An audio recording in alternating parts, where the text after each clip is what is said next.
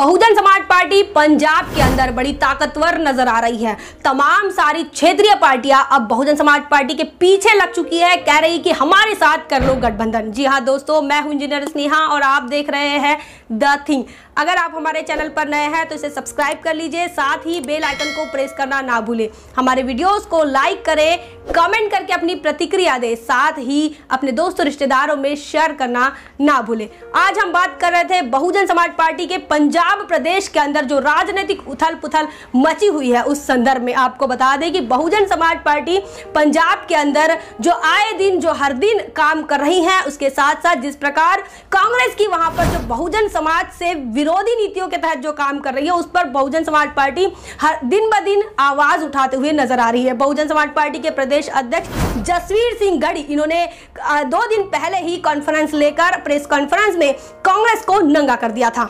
शिरोमणि अकाली दल के सुखबीर सिंह बादल अब अपनी पार्टी को ऊपर लाने के लिए नई ज़मीन तलाश कर रहे हैं। आपको बता दें कि जो खोया हुआ उनका दौर है, उन्हें वापस लाने की कोशिश में लगे हुए हैं और शिरोमणि अकाली दल जो है, अब बहुजन समाज पार्टी के इर्द गिर्द घूम रही हैं और बहुजन समाज पार्टी से वो अनुरोध कर रहे हैं कि हमारे साथ बने और आने वाले विधानसभा चुनाव को लेकर वो नई रणनीति बनाना चाहते हैं। आपको बता दें कि अब तक तीन मीटिंगें वहाँ पर हो चुकी है, लेकिन अब तक कोई भी फैसला सामने नहीं आया है।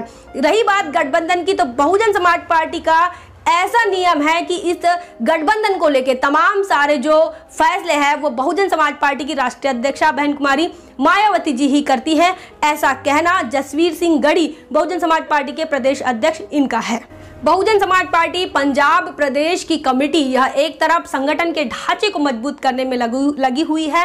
तो वही दूसरी तरफ़ कांग्रेस की जो शेड्यूल कास्ट, ओबीसी और माइनॉरिटी के को लेकर जो विरोधी नीतियाँ है, उसे भी बहुजन समाज को बताने के लिए लगातार काम कर रही है। यही यही नहीं तो बहुजन समाज के विद्यार्थियों की स्कॉलरशिप रोल नंबर जो रोके गए हैं यूनिवर्सिटीज में, इन तमाम मुद्दों को लेकर बहुजन समाज पार्टी जो है, उन्होंने वहाँ की सर, कांग्रेस सरकार को अल्टीमेटम तक दे दिया है और ऐसे में बहुजन समाज पार्टी जो है, पंजाब के अंदर उभरती हुई नज़र आ रही है और शिरोमणि अकाली दल जो है, वो बहुजन समाज पार्टी के साथ गठबंधन चाह रही है। और ऐसे में आप तमाम सारे लोग क्या सोचते हैं, कमेंट करके ज़रूर बताएँ। बने रहे द थिंग पर। जय भीम, जय भारत। बहुजन विचारधारा को घर घर तक पहुँचाने के लिए हमारे यूट्यूब चैनल को सब्सक्राइब करें, लाइक करें, कमेंट करें, शेयर करें और बेल आइकन की घंटी दबाना ना भूलें।